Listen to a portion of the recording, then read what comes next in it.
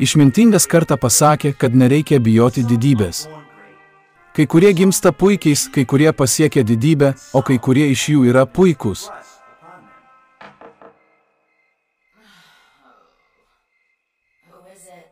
Kas tai?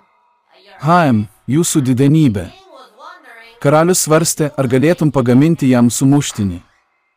Jau trys valandos ryto. Taip.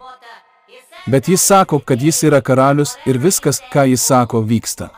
Na, aš esu karalienė.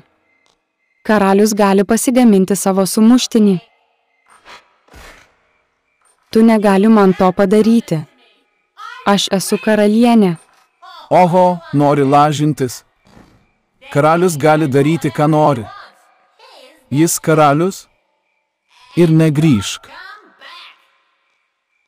Ar nemanote, kad tai galėjo būti šiek tiek šiurkštų? Oi, jokių būdų. Jei jį išsisuktų, niekas jūsų neklausytų. Na, ką aš dabar darysiu? Panašu, kad turėsime surasti tau naują karalienę. Haimem, padaryk man sumuštinį.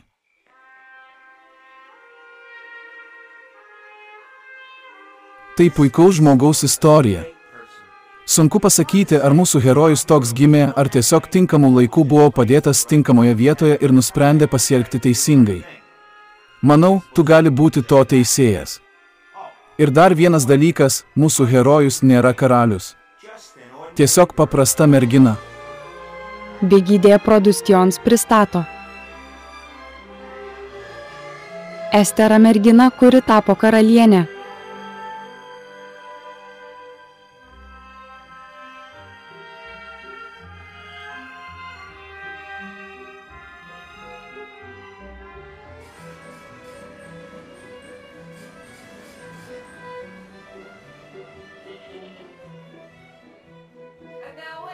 Dabar palauk, palauk, Estera.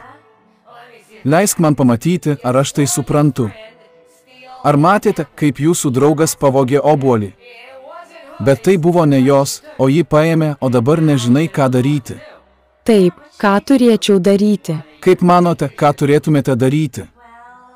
Na, aš turėjau pasakyti jai, kad tai neteisinga ir turėjau už tai sumokėti. Tai skamba kaip geras atsakymas.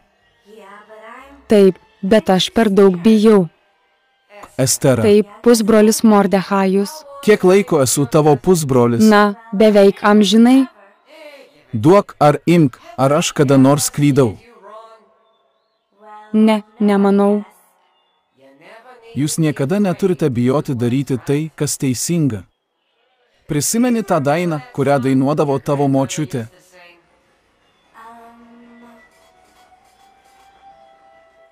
Turite omenyje tą, kad Dievas yra mūsų pusėje ir nebijokite. Taip, prisimenu tą. Bet kas, jei ji nebenori būti mano drauge? O Estera, tu gali pasielgti teisingai, ten yra daug daugiau problemų, daug didesnių nei pavogti obuoliai.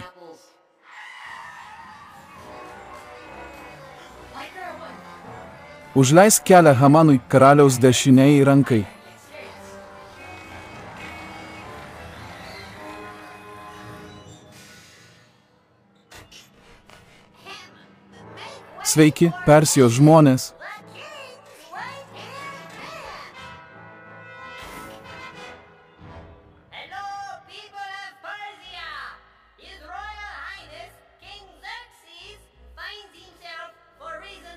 Not concern you.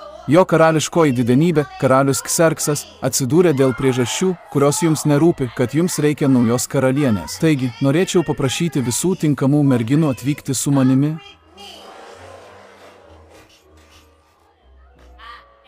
Jauna ponė, tai reiškia tave. Jei būti karaliumi yra tas pats, manau, verčiau liksiu čia.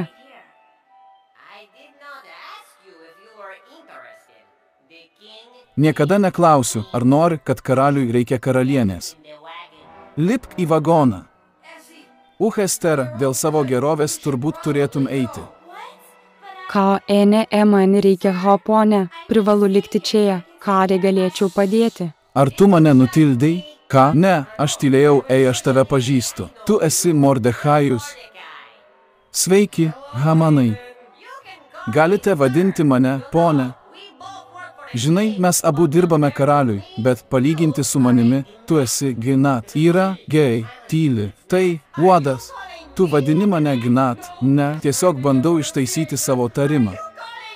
Tu mane vadini kvaila? Ai, ne. Tu lipk į vagoną. Tu nusilenk man. Eh, ne, nusilenk. Ne, niekam nesilenkiu, išskyrus savo dievą ir karalių. Hai, gei, gei, gei, gei. Sėsk į vagoną.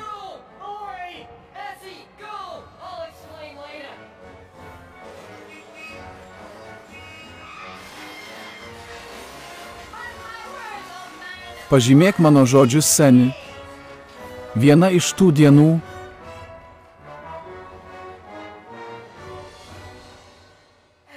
Estera, Estera, ar tu čia? Pusbrolis Mordechai, kas vyksta?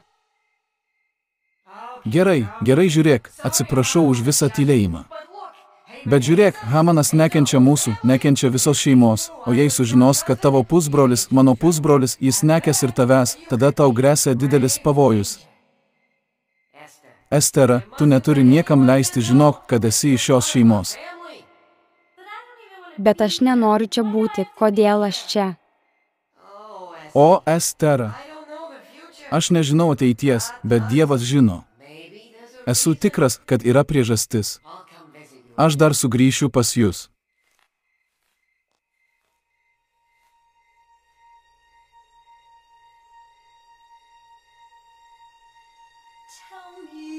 Pasakyk man kodėl. Nesuprantu. Pasakyk man kodėl, o parodyk man savo ranką. Pasakyk man kodėl, nes nematau savo kelio.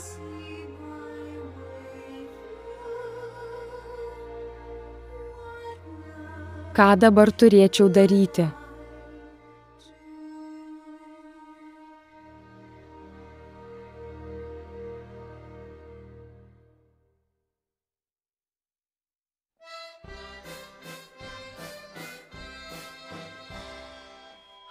Šuniukai gražus.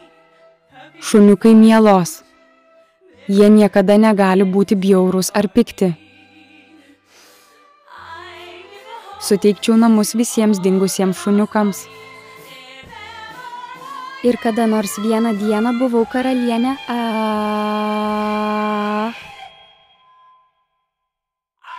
IF. Yes. Taip, tai buvo dalyvė grotelės 37 seven. Uh, Miss. Ahmedha. Ką aš darysiu su tais šunimis? Kitas. O, taip. Ahem. Dabar nuo Babilono kabančių sodų namų. Panelė Babilone.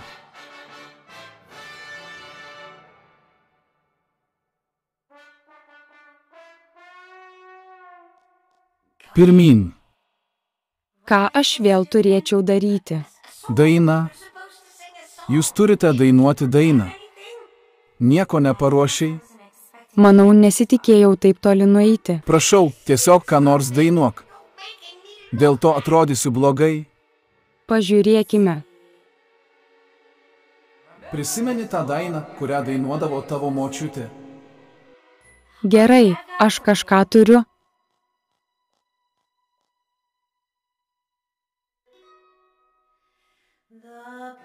Mūšis nėra mūsų. Mes žiūrime į Dievą aukščiau, nes Jis mus saugiai ves ir saugo savo meilę.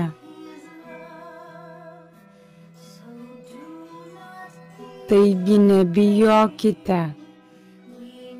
Mums nereikia bėgti ir siektis, nes nėra nieko, su kuo negalėtume susidurti, kai Dievas yra mūsų pusėje.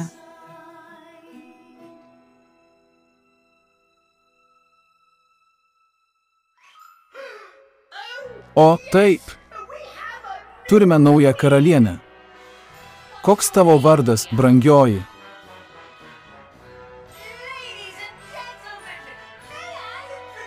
Ponios ir ponai, leiskite jums supažindinti su karalienė Estera.